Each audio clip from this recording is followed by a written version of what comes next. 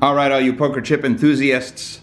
There are no poker chips in this video. This is all plaque. Welcome to Plaque Town. These are acrylic slash plastic slash cheap plaques that I bought on AliExpress.com, a website in China that sells everything for cheap. And I have mixed feelings about that, but the price I paid is pretty good. Everything you see in front of you, which is 100 blue, these guys,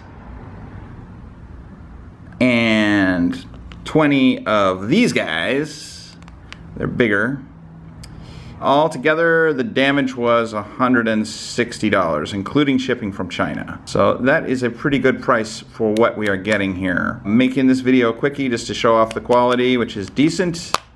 Uh, amazing for the price. You could play with these probably for a long time and they would probably hold up really well. Let's do a sound thingy. Oh yeah, sound. I got a nice comment one of the other videos to do sound. So I'll be quiet now. So they're cool, you know? They're, they're lightweight, they're not really heavy duty. If you wanted to do a high roller tournament or something like that, they're cool to have. Originally I bought them because I was gonna use them with this, the Royal chips. But then I ended up going with the actual Royal plaques from ApachePokerChips.com. It's a much higher quality plaque, a lot more expensive. These are, I think, eight or nine dollars a piece.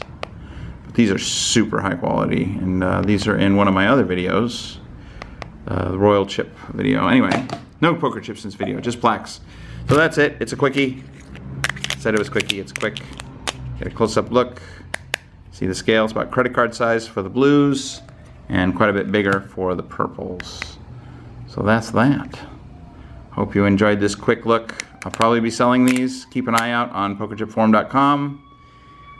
Going to sell them for less than what I paid because I want somebody to enjoy them. All right. See you next time. Peace. We out.